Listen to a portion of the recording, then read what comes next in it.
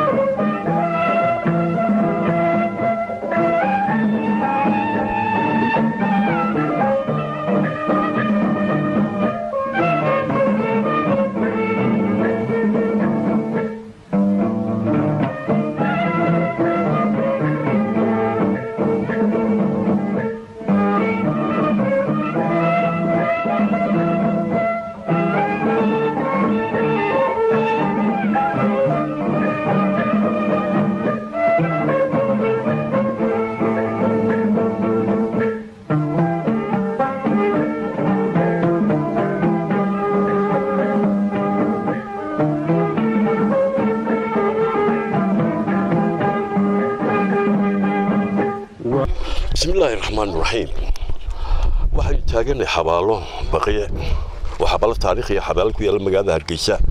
Waxaan leenahay inta ku aasanay hortaan dhimatay. Antum saabiquun wa naxnu laaxiquun. Waa naga hormarteen annana waydi daba soconnaa. Ilaahay qabriga haydu nuuro. Jannadana haydi geeyo. Annagana ilaahay waanu daba soconnaa hanoo dembi dhaafo. Hadda waxaannu isna aaskiisa u taagannahay walaalkayo oo aanu muddabadan soo wada shaqaynay maantana ilaahay lahaa qaatay oo socday waa siciid maxamed waa siciid cismaan maxamed. Siciid casiir baa loo yaqiinay oo ahaa runtii tiirarka ay ku fadhido baahinta redio hargeysa iyo telefishinkuba waxa uu ahaa aqoon-yahanka u horreeyey ee halkan somalilan u dhashay ee bartay baahinta ama transmitterka waxa layaho daawadayaal idinku waxaad taqaaniin inteeda muuqaal ka soo baxda iyo inta hadasho aad u taqaaniini. Ragga waxaana daawanaysaan iyo waxaana maqlaysaan ugu farsamada badan buu ahaa. Wuxuu ka soo shaqeeyey redio hargeysa iyo redio muqdishoba waxaana wax ku soo martay jarmalka bari. Wuxuu yaqiinay afafka jarmalka ingiriisida carabida iyo soomaaligaba waxaanu ahaa aqoon-yahan weliba aad dhinaca fisigiska ugu wanaagsan. Marka loo baahdo maalinta ay ciladi timaado isaga oo hadda xanuunsanayo naafoon kici karayn ayaa loo yeedhi jiro tilmaantiisa wax ku hagaajin jiray. Wuxuu ahaa tiirarka farsamo ee u dhashay somalilan ee aan mar raba la hilmaamay. Maanta wuu socday ilaahay naxariista jannaha ka waraabiyo. Anugu waxaan leeyahay yaan la ilaabin ubadka uu ka tegey maanta ilaahiisba hortegey ilaahayna insha allah bismillahi kariim jannaduu geyn doonaa. Laakiin mas'uuliyiinta inteenna la saaxiibkaa? Inteennaba waxaa waajiba inagu ah ubadka uu dhalay? Soo dhowaada ee kaasi u yar yahay. Inta aan ilaahayn innagaa mas'uulka ah. Waxaa loo baahanya inaynu dar yeelno mar kalaan leeyahay ilahay naxariis jannaha ka waraabiyo. Inaa lilah waynu raajicuun. Kulli nafsin daa'iqatilmowt siciid caseer wuxuu ahaa allah u naxariistee injineer idaacadda redio muqdisho iyo redio hargeysa ahaa raggii loo diray jarmalka dhowr iyo toddobaatanadii dhowr iyo toddobaatanka horaanti dabayaaqadiisii wuxuu ahaa siciid. Hargeysa waxaa loo soo bedelay afar iyo siddeetankii meelaha ayaa loo soo bedelay siciid waxaa joogi jiray nin christopher la jiray oo hindi ahaa hindigaabuu bedelay oo shaqadii kala wareegay. Waxaa jiray transmitter tasla la odhan jiray oo ruushka wakhtigii ruushka la dhisay.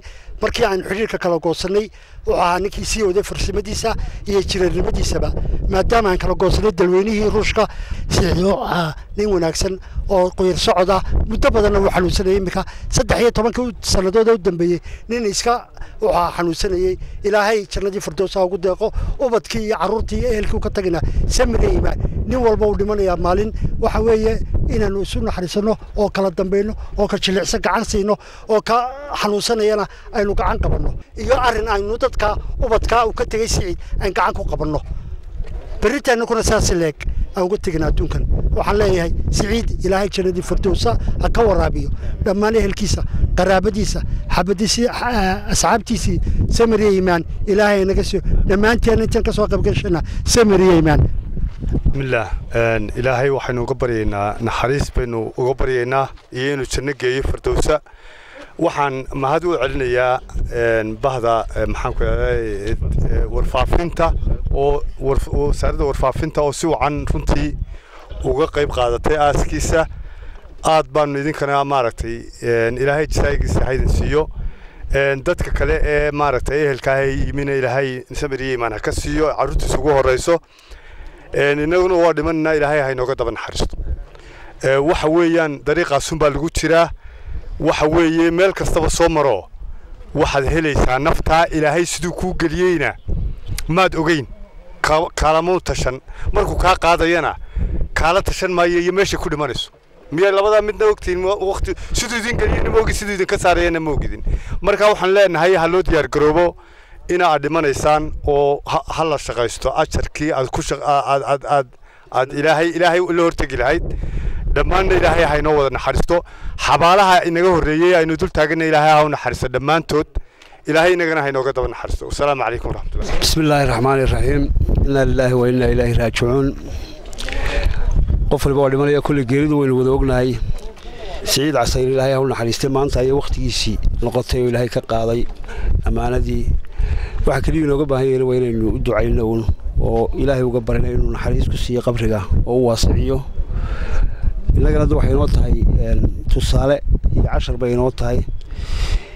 Ilaahay bahda wasaaradda warfaafinta iyo qoyskiisiiba samiriya imana ka siiyo isagana godka ha u nuuro qabriga ha u waasiciyo. Naxariis baynu eebba uga baryayna haddii ilahay idhahda maanta wuu hoyday. Waxaa keliya kolley wasaaradda iyo xukuumadda malaa uga baahan wax loo qabta waxa weeye waa qoyskiisii iyo carruurtii uu ka tegay. Inaa lilaahi wa innaa ilaahi raajicuun bismi illaahi raxmaan raxiim ilaahay waxaan uga baryayaa marxuum siciid casayr inuu naxariis janno ka waraabiyo. Muddo aad u fara badan baanu kulley aniga wada joognay inkastoo rashiid iyo raggii iga horreeyey ay muddo intaa ka badan si wada joogeen haddana kolley. Intaanu maxaan ku dhahdaa wada taagnaan wada shaqaynaya ilaa muddo saddex iyo soddon sannadood ah way noqonaysaa. Shaksi wanaagsan halgamo dalka xuquuq fara badan ku leh. Siciid xaqi baa ku soo degey waana la aasay. Laakiin waxaan aad uga xumahay cali suguulaa laga hayey waxaa laga hayey geerida horteed haddaanad geesiga aqoonsan gobla weeye soomaaliya garashadaad goldolooladeenii kuwii kula gufayn waayey ee nolosha kugu gabay ayaa taagan gooyaha waxba siciid calaacalkiisu maanta tarmee xillibu u baahnaa in wax la taro imkana carruurtiisu way joogtaa. Haddii wax la tarayo. Laakiin kuwa isagoo nool filmaayo in maxaan ku lahday ubadkana ay xasuudan hortaanu kolley ma filayo. In kaloo fara badanoo ama wasaaradda joogta ama waddankaba joogto sidaa u tabaalaysan. Oo dalkana xuquuq iyo xaq fara badan ku lahayd oo sidaa loo ilaabay. No way jirtaa. Marka waxaan odhan lahaa dee kani socoye bal kuwa dambe un haddii caqli dad ku jira ha la garto inuun asalaamu calaykum waraxmatullah bismillahi raxmaan raxiim waa afar iyo tobanka bishii sideedaad labada kun iyo sideed iyo toban waxaynu joognaa aaskii injineer siciid casayr. Oo maanta ku aasayno xabaalaha qabiic ee magaalada hargeysa. Injineerku in badan buu ka soo shaqeeyey wasaaradda warfaafinta. Tacab badan ayaanu soo geliyey wasaaradda warfaafinta. Maanta waxaa ka raacaya waxaynu leeyahay inu naxariisto daawadayaasha iyo dadkii inta xabaasha joogtaana maanta u ducayso faataxada u marto in ilaahay u naxariisto. Ubadkiisuna ilaahay horta samiriyiman ha ka siiyo. Bismi illahi raxmaan raxiim innaa lilaahi wa innaa ilayhi raajicuun.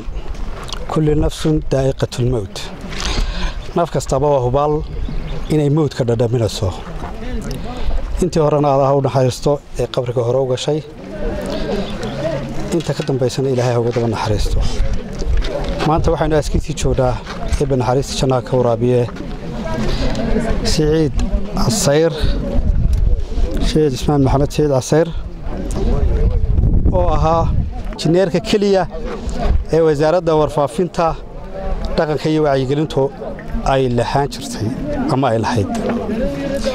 Rag fara badan oo injineer waxaa laga yaabaa inay aqoonta injineernimada siyaabo badan ama meelo kale oon idaacad ahayn ay kaga soo shaqeeyeen laakiin siciid caseer waxaan qabaa inuu ahaa injineerka keliya ee aqoon transmitter idaacadeed. Hadday baractical tahay iyo hadday tiyeri tahayba aqoon idaacadeed lahaa. Waraysigii ugu dambeeyey oon insha allah rajaynayo in barnaamijkiisa imaka geeridiisa lagaga hadlayo lagu soo qaadan dayna ku waraystay. Dhowr iyo toddobaatanadii buu shaqada bilaabay wuxuu ka bilaabay xamar buu ka bilaabay transmitterada idaacaddu ka bilaabay. Sayid caseer waxau ahaa nin very intelligence ah ay kuyuugiisuu sarreeyo maskaxdiisuna ay aad u sarraysay ilaahay naxariista jannaha ka waraabiye. Maanta isagoo dhintay baynu ka hadlanaa laakiin aqoontiisa dadkuna way yaqaaneen inta siciid casayr ama reediyo hargeysa taqaanay aad bay u taqaanay. Hadday tahay wakhtigii hore si aad barray waddanka haystay iyo hadday tahay wakhtigan imaka ah siciid casayr ilahay naxariista jannaha ka waraabiye siddeetamaadkii ayaa laga soo wareejiyey hota waxa uu qabtay tababaro badan buu qaatay deetana waxa uu aqoon rasmiga ku soo qaatay dalka jermani ama dalka jarmarka muddo dhowr sannadooda ayaana aqoonta transmitterada uu ku soo qaatay ilaahay naxariista jannaha ka waraabay siciid casayr ee dhowr iyo siddeetankii buu idaacadda hargeysa oo dhowr transmitterada soo wareegay siciid casayr waxau ahaa injineerka keliya haddii aad transmitter wax noqdo hagaajin jiray. Maanta oo uu qabay xanuunka faaliguu ku dhuftay oo sida xasan gabaygu soo qaatay aan aniguna la qabo ilaa sagaal jeer ayuu siciid faaligu ku dhuftay. Markii hore dhinac buu kaga dhuftay in badan markii imika ugu dambaysayna dhinaca kaleu kaga dhuftay. Haddaan la isxaal ogaan ama qofka aan geeridu waa xaq laakiin qofka aan la barbar qaban dhibta aan lala qaybsan waxa weeyaan waxba nolol kuma tarto. Sidaas in ilaahay naxariistii jannaha ka waraabiye aqoontiisa waxa wax fara badan waxa ka warrami doonaa waraysiga aan ka qaadnay haddii ilaahay idhaahdo.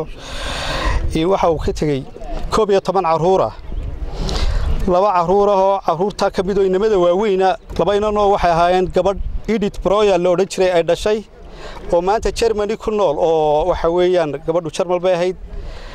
Labadaa carruura laba inan bay iyagu ahaayeen way la soo xidhiiri jireen. Dad waaweyn maanta. Ilaahay ubadka u daayo. Oo reerkana ha u daaye. Siddeed carruurana halkan ayay u joogaan maanta. Oon filayo hablaha inanta ugu weynna in ceergaabo ay faamili ku tahay gabadhna waxaan filayaa in ay dhinaca soomaaliya ay iyaduna ku nooshahay oo iyaduna hooyo kale ay u dhashay. Laakiin koy tobanka carruura sidaasaan markaa waxa weeyaan waa labada inan iyo laba inan oo kale inta kalena waa hablo. Faamiliga halkan joogaa maanta waxtar badan bay u baahan yihiin. Waxtar fara badan. Insha allah bismillaahi kariim caawaja xaga wuu ugu bedeli doonaa aynu ubadkaana inuu ilaahay barbar qabto aynuu ducayno. Isna inuu qabriga u nuuro aynu ugu ducayno oo naxariistii janno uu ka waraabiyo. Carruurtaana ciddii wax u qaban kartaa ha u qabto. Bismillaahi raxmaan raxiim innaa lilaahi wa ilayhi raajicuun. Innaa lilaahi wa ilayhi raajicuun. Anigu waxaan aad iyo aad horta ugu mahadnaqayaa. Siciid casayr ilaahay naxariis jannaha ka waraabiyo. Waxaan si gaara ugu mahadnaqayaa. Weliba faamiligii siciid ka soo jeeda anigoo ku hadlaya. Inta goor ee isagoo xanuunsanaya aanuu imi kadibna aan wasaaradda tegey wasaaradda hadday agaasimo tahay hadday mid wasiir tahay hadday mid hoose tahay waliba raggaan ka xasuusnahay. Ay qaarkood ag taagan yihiin. Loo sara kacay wax badanna loo qabtay. Wasaaradda aad baan ugu mahadnaqayaa aad baan ugu mahadnaqayaa siciidna ilaahay naxariis jannaha ka waraabiyo. Markii horena weydinkaa siciid. Dee xanuunkiisii wasaarad ahaan aad iyo aad baa ugu dadaasheen iminkana dee carruurta waa u dadaali doontaan insha allahu. Ciidanka ilaahay isagana ilaahay naxariis jannaha ka waraabiyo